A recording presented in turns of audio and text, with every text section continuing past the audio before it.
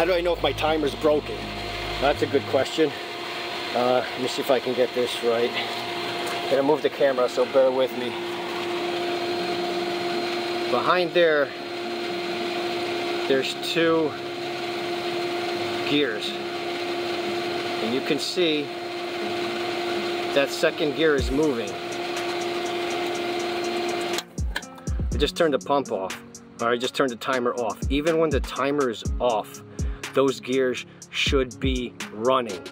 If that second gear in the back is not running, then you either lost power to this, so the main breaker flipped, or the timer is broken. It's one or the other. It can't be any other option. So, again, if that second gear in the back is not rotating, especially when the pump is on. If the pump is on and you look back there and it's not moving, you need to replace your timer. That means that the timer is broken.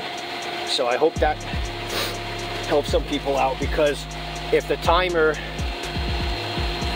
is broken, then when it's supposed to, it's just gonna override the off. It's gonna continue to, to turn on. I mean, it's gonna continue to run. So if you have to manually turn this on and off every time, you gotta replace this. Um, let's say it's off and the gears aren't moving. This thing will not turn back on until somebody comes here and physically turns it on. Same thing, if it's on and this is broken, this thing will not turn off until somebody physically comes here and has to do that. So the quickest way to figure that out is look back there, that second gear in the back. If this thing is moving on and off, I mean, if there's power going to your equipment from here, if that gear in the back is stuck, it's not moving, this needs to get replaced.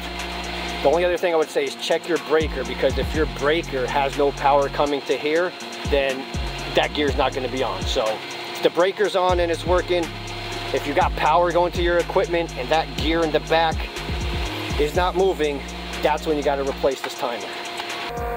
Been trying to get an angle. This is a perfect example of what I'm referring to. The timer's on and the gears are not moving at all.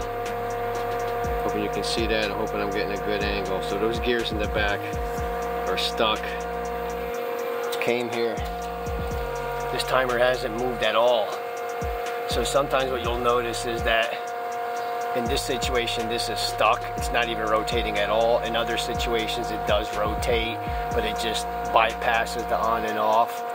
Um, so yeah, this timer needs to get replaced because power's on. I got power coming to here, but the gears in the back are not moving.